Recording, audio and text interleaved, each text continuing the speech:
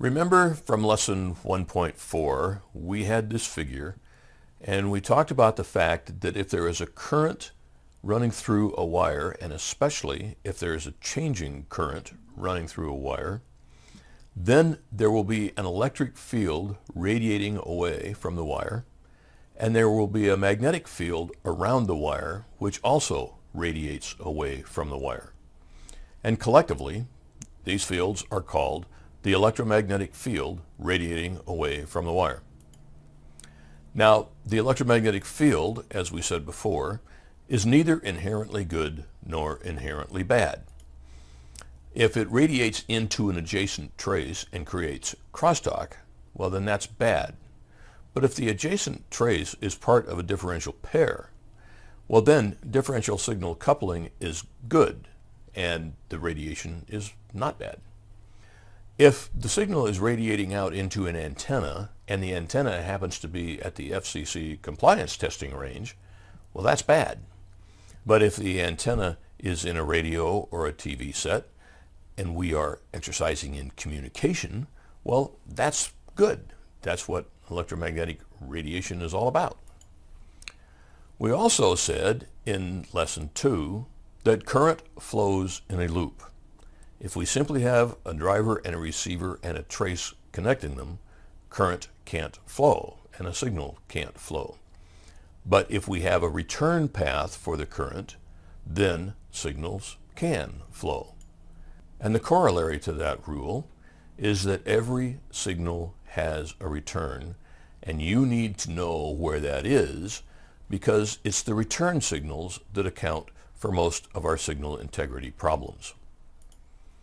We also defined the concept of a loop area, and the loop area is the physical area within the current loop. If we have a driver and a receiver and a trace, and if the return signal is on the plane directly underneath the trace, well, then the loop area is relatively easy to define. It's simply the length of the trace times the height above the plane. But every signal has a return Therefore, every signal has a loop area. Now, the reason that's important is that radiated electromagnetic energy, whether it's in the form of EMI or crosstalk or transmission lines or anything else, is directly related to loop area. Radiated electromagnetic energy, EMI, is directly related to loop area. This leads to a fundamental rule for minimizing radiation, and that is minimize the loop area. This is perhaps the most fundamental rule for signal integrity purposes in printed circuit board design. And we do that by routing every trace as close as practical directly over a continuous related underlying plane. That is our number one design rule in printed circuit board design for signal integrity reasons. Route every trace as close as practical, as close as your fabricator will let you, almost, directly over a continuous related underlying plane. And these adjectives are all important. Continuous means there's no breaks, there's no slots. Related means that we're not routing a digital trace over an analog plane. We're not routing a trace related to a 3 volt power supply over a 1.5 volt plane. And underlying, of course, means underlying. It's underneath the trace. In lesson 1.4, we provided these figures of the electromagnetic field under a variety of different conditions. And this was the one where we changed the height above the plane. If we have an 8 mil trace 50 mils above the plane, which is pretty high. Then we had an electromagnetic field that radiated out in all kinds of directions. But if we brought it down close to the plane, within 5 mils, well then most of the electromagnetic field gets trapped between the trace and the plane and very little gets out. Route every trace as close as practical to a continuous related underlying plane. We also talked about the difference between microstrip and strip line. Here we have some traces. They're 10 mils above the plane. with a 50 mil separation. There's some radiation out into space and there's some radiation and coupling between the traces. Put them in a strip line environment and all of the electromagnetic field is captured between the planes.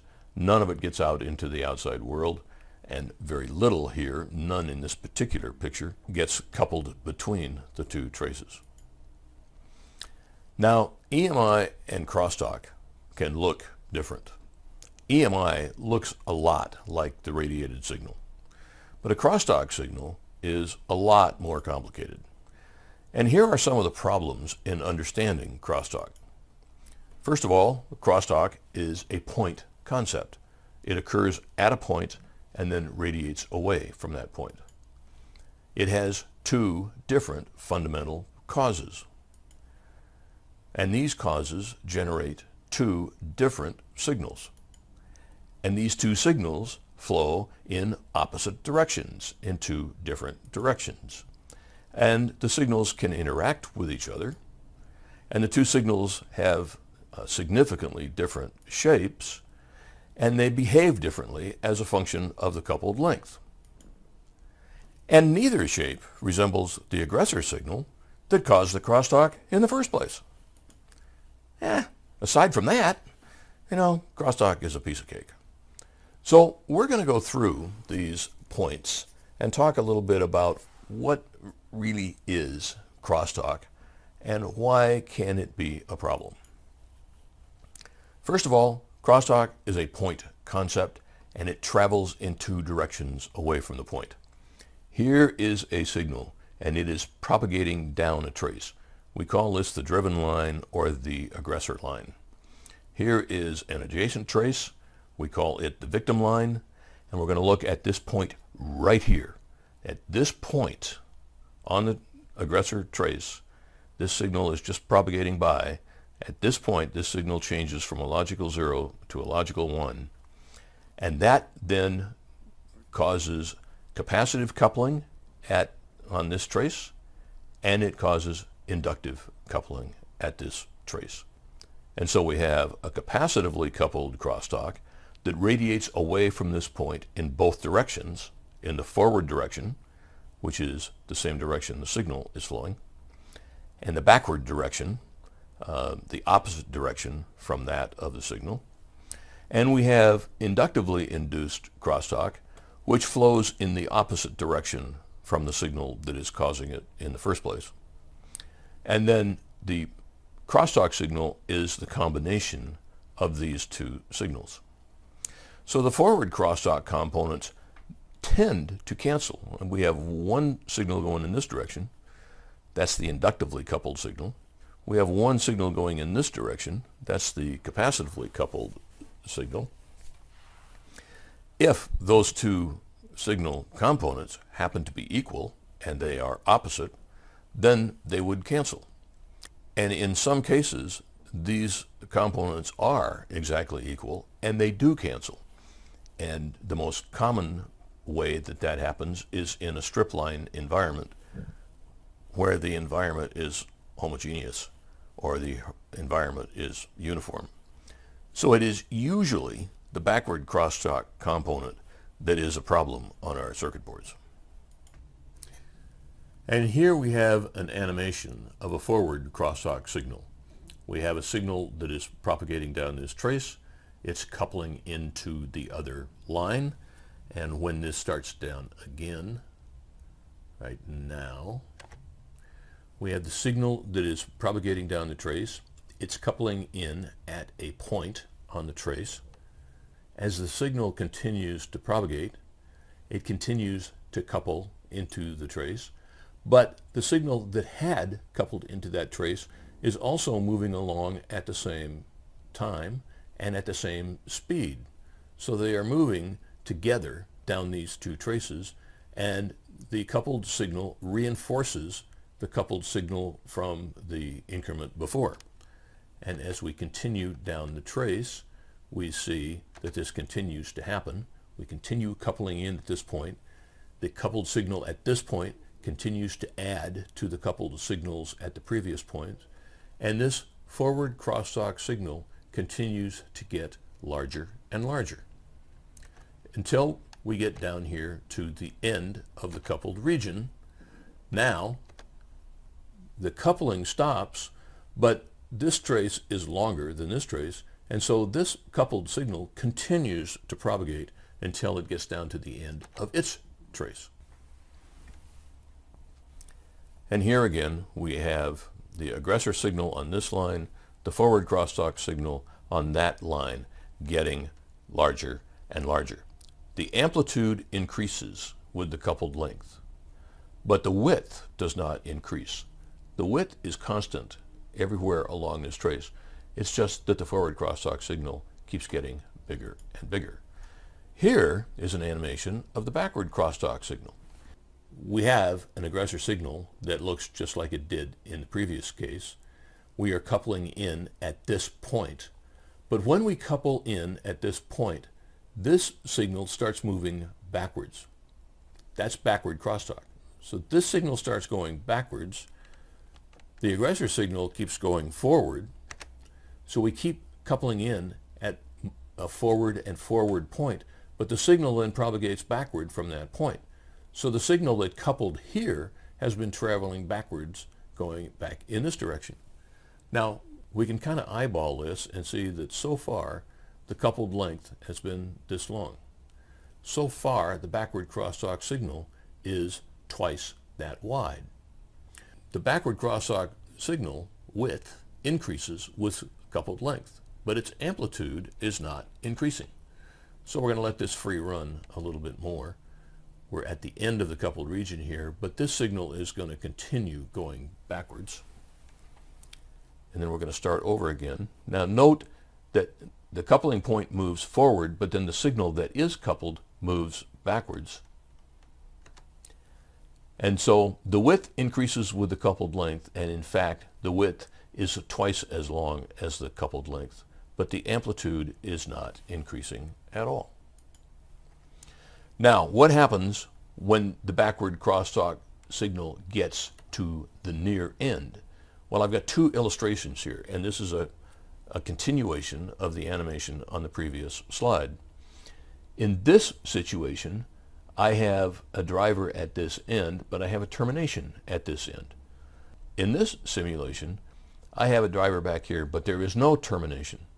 So this backward crosstalk signal is going to come back in this direction and is going to be absorbed in this terminating resistor.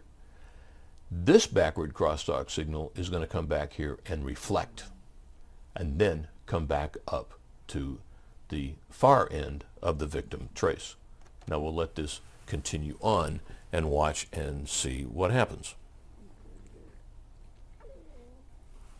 The backward crosstalk signal is being absorbed in this terminating resistor in this part of the simulation, but it's being reflected here and reflected up at the far end, and it is just now finally showing up at the far end. It took a fair amount of time for the backward crosstalk signal to propagate all the way back here and then all the way back to the front of the victim trace. And we're going to let this run one more time, at least for part of it. This is where we were at the end of the last animation.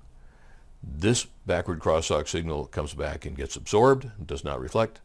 This backward crosstalk signal reflects and moves forward and comes down to the far end of the victim trace. So what happens at the far end with backward crosstalk depends on what the situation is back here at the near end. The backward crosstalk may show up at the far end of the victim trace if it reflects off th this end, the near end, but the backward crosstalk signal may not show up at the far end of the victim trace if the near end of the victim trace is properly terminated. Now, let's look a little more closely at the backward crosstalk signal we're going to have a signal that is going to start to increase here. There's going to be a rise time here. And that immediately starts to couple as soon as the signal starts to change. It immediately starts to couple into the other trace. But we haven't reached the maximum value of the driven signal yet. So as we keep this going, this keeps rising up to a point. Then this no longer increases. This backward crosstalk signal no longer increases in amplitude. And then after we get to the end of the coupled region, we have something that actually looks a little bit like a trapezoid that now starts propagating backwards. What we're going to find out is, let me get this a little bit further along. What we're going to find out is that the width of the backward crosstalk signal is twice the coupled length plus one rise time. There's a rise time here at the front end. There's a rise time here at the back end. This is kind of the opposite side of this rise time. And so this length here from this point to that point is uh, twice the coupled region plus one more rise time. Now these signals behave differently, and we've just covered that. The forward crosstalk signal has an amplitude that increases with coupled length, but the width doesn't increase at all. The backward crosstalk signal has a width that increases with coupled length, but the amplitude increases only up to a point, and then it doesn't increase after that. And that point we call the critical length. The amplitude of the backward crosstalk signal increases up to a point. That's the critical length. Beyond the critical length, it doesn't increase any farther. And it is the same critical length that we talked about when we talked about reflections and transmission lines and controlled impedance traces. It's the same critical length. And neither of these pulses looks like the aggressor signal that caused it in the first place. Now on the next few slides, I'm going to show you some crosstalk simulations. They were done with the HyperLynx simulator.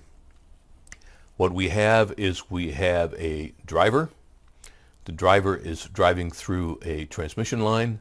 That transmission line is terminated at the far end.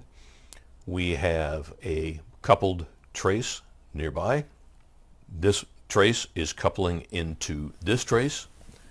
This trace is terminated at the far end. This is the victim trace. It's terminated at the far end in a correct transistor. It is not terminated at the near end. Now what I have here is I have a 10 megohm resistor. That's here so I can hang an oscilloscope probe here so I can look and see what is going on in the simulation. But what that is simulating is an open circuit at this end. I'm going to provide a simple model here, and this is going to drive this trace with a ramp. And the ramp has a 2 nanosecond rise time. It's going to be a sharp turn on and then a sharp turn off, and it's going to look just like a, a very sharp ramp with a 2 nanosecond rise time. That's not exactly what a signal looks like, but what it will do is give us a very precise picture of what the crosstalk signals look like. And here's what the result is. Here's the ramp. And this is one nanosecond per division, so we have a two nanosecond rise time. And we have three different simulations here. And we have the results of three different simulations. And those three simulations involve three coupled lengths. 3 inches, 6 inches, and 12 inches. 3 inches is a half a nanosecond, 6 inches is 1 nanosecond, and 12 inches is 2 nanoseconds. And again, the ramp rise time is 2 nanoseconds. Now remember, I said that the backward crosstalk width is 2 times the coupled region plus 1 rise time. So in B, the backward crosstalk width is going to be 2 times the coupled region or one nanosecond, plus a rise time, which is two more. So the backward crosstalk width for this simulation is going to be 3 nanoseconds. And this is that. We start here, and there's one, two, three nanoseconds. And that's the backward crosstalk signal rises, comes across, and falls again. C, the backward crosstalk width is 2 times the coupled region plus 1 rise time. So 2 times 1 is 2, plus 2 is 4. In C, we're going to have a 4 nanosecond pulse width. Well, it starts there. So there's 1, 2, 3, 4. That pulse is 4 nanoseconds long. This looks like a trapezoid. It increases in amplitude until it gets right here. Then at that moment, it looks like a triangle. And then it stretches out again and looks like a trapezoid again. But the amplitude stops growing at that point. In simulation D, we have a 2 nanosecond coupled region. So 2 times 2 is 4, plus 2 is 6. So this pulse width should be 6. And there's 1, 2, 3, 4, 5, 6. So all of this fits together just like it should. Now, let's take a typical case. I got a driver. I'm driving through a transmission line. I'm terminated here. I'm coupling into an adjacent trace. This is in a microstrip environment. I've got a 10 megohm resistor here so that I can hang an oscilloscope probe on it and look at the signal at that point. This is, shows the menu setup for setting up that transmission line. Here are my two traces. Here's the impedance of the two traces. I even get the differential impedance if I care and want it. There's the trace-to-trace -trace separation. And here's the result of that simulation. The coupled region was 10 nanoseconds long. Here is the driven signal. Here is the backward crosstalk signal at the near end of the victim trace. If the coupled region is 10 nanoseconds long, then this signal should be 20 nanoseconds long. We have 5 nanoseconds per division here. So here is 5, 10, 15, 20 nanoseconds out here. So this pulse is 20 nanoseconds plus a rise time. The forward crosstalk signal is this signal. It shows up at the far end of the victim trace 10 nanoseconds later. That's the 10 nanosecond propagation time through the victim trace. And the backward crosstalk signal shows up at the far end of the victim trace at the same time. So it is showing up here. It's going to be 20 nanoseconds wide. So we go 5, 10, 15, 20 nanoseconds plus a rise time. So there's the backward crosstalk signal at the far end of the victim trace. So at the far end of the victim trace, we have the forward crosstalk signal, then we have the backward crosstalk signal showing up here, and everything starts happening 10 nanoseconds after the driver starts driving. That's the 10 nanoseconds of the coupled length. Now, for extra credit, why is the backward crosstalk signal at the near end bigger than the backward crosstalk signal at the far end. Here's the backward crosstalk signal here at the near end. Here's the backward crosstalk signal at the far end. You should already know the answer to that. The answer is this backward crosstalk signal has come back here and is being reflected. And the reflection is positive in sign and 100% in magnitude. So what we are seeing at this end is the backward crosstalk signal plus its reflection. What we are seeing at the far end is the backward crosstalk signal. Now, let's separate the forward crosstalk signal from the backward crosstalk signal. And we can do that by placing a transmission line in front of the coupled region. So we've got a coupled region that is 10 nanoseconds long. We'll put a 5 nanosecond long transmission line in front of it on both cases down here, both for the aggressor line and for the victim line. Now, when we send the signal down the trace, there'll be five nanoseconds before it hits the coupled region. Then it will generate a backwards crosstalk pulse, which will come back five nanoseconds to this point. It'll reflect off this point five nanoseconds later. It will come back to this point and 10 nanoseconds later, it will show up at the far end of the victim trace. That's 25 nanoseconds. So we got 5 nanoseconds to here, 10 nanoseconds, 15 nanoseconds, 25 nanoseconds to get to the far end of the victim trace. The forward crosstalk signal will get to the far end of the victim trace after 5 nanoseconds and then 10 nanoseconds through here, or in 15 nanoseconds. So the backward crosstalk signal is going to lag the forward crosstalk signal by about 10 nanoseconds. And here's the results. Here is the driver. 10 nanoseconds later, the uh, backward crosstalk signal shows up at the near end of the victim trace.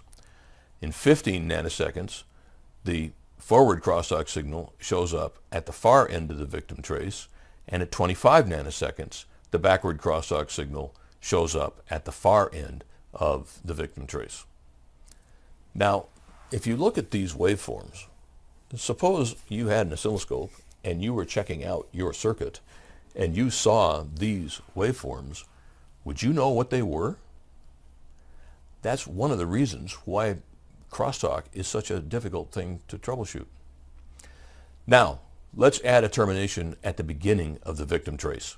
Here was our basic uh, simulation. We've got the aggressor line here, we've got the victim line here, but now we've got a terminating resistor here at the near end. Otherwise, it's the same as the first animation we showed. And here is the forward crosstalk signal showing up at the far end, 10 nanoseconds later. Here is the backward crosstalk signal at the near end of the victim trace. It's half the magnitude that it was before because it's not being reflected. And in particular, the backward crosstalk signal is not showing up at the far end of the victim trace at all because it's being completely absorbed by the terminating resistor at the near end of the victim trace. How about that? There's no backward crosstalk at all at the far end here because we absorbed it at the near end. And here's a comparison between not having a termination at the near end of the victim trace and having a termination at the near end of the victim trace. The backward crosstalk signal does not show up. And remember the animation we had of the terminated transmission line at the near end of the victim trace. The crosstalk signal comes back here but gets absorbed in this terminating resistor, does not reflect forward. In this situation, the backward crosstalk signal comes back here and reflects and does go forward. So at the far end of the victim trace, we do see a backward crosstalk signal that shows up here in the reflected case, but not in the terminated case. Now, all of those simulations were done in a microstrip environment. Let's do this now in a strip line environment. And this is going to be approximately 12 nanoseconds long. And here's the backward crosstalk signal that shows up at the near end. Here's the reflected backwards crosstalk signal that shows up at the far end of the victim trace. But now, there's no forward crosstalk that shows up at the far end of the victim trace. That's because in a strip line environment, the capacitive and inductive forward crosstalk components tend to exactly cancel. I say tend to exactly cancel, and they do exactly cancel as long as the environment is perfectly homogeneous and perfectly uniform. There are some times when that is not true, and so if it is not true that the environment is perfectly uniform. There might be a forward crosstalk that shows up. But if you're careful in uh, specifying your board and in laying out your board, then you, know, you can completely eliminate the forward crosstalk signal at the far end of the victim trace by putting the traces in a strip line environment. And finally, we're going to put a termination at the near end of the victim trace in a strip line environment and we look at the simulation and here is our driver. Here is the backward crosstalk signal at the near end of the victim trace, but there is no crosstalk whatsoever at the far end of the victim trace. We have a strip line environment. We have a trace that is terminated at the near end, and no matter how close these traces are, and no matter how long the coupled region, there will not be any crosstalk at the far end of the victim trace under those conditions. And we thought crosstalk was a difficult topic. Haha. okay, Now, the crosstalk coupling coefficient. Howard Johnson talks about this in his book, High Speed Digital Design, a Handbook of Black Magic, on page 192, and he gives this formula. The crosstalk coupling coefficient is proportional to 1 over 1 plus the quantity d over h squared, which we can expand to look like this. Now it's important to recognize what his definitions of h and d are. h is the height of the trace above the plane. d is the distance between the center lines of the traces. In a lot of formulas, we talk about the separation of the traces as being the edge-to-edge separation. But this particular formula from Howie talks about the separation as being the distance between the center lines of the two traces. And that is because currents tend to run down the center line of the trace. Now remember back when we showed the electromagnetic fields and the impact of separation, well, if the traces are close together, there's a lot of coupling. If the traces are far apart, there's a lot less coupling. Now we knew that, and we knew that intuitively, but this shows why that is the case. UltraCAD has a freeware calculator that will estimate the crosstalk coupling coefficient. In my experience in using this calculator, it's pretty good for a microstrip environment. There are so many variables in a stripline environment that it tends to overstate the crosstalk coupling in a stripline environment. But H uh, is the height above the plane.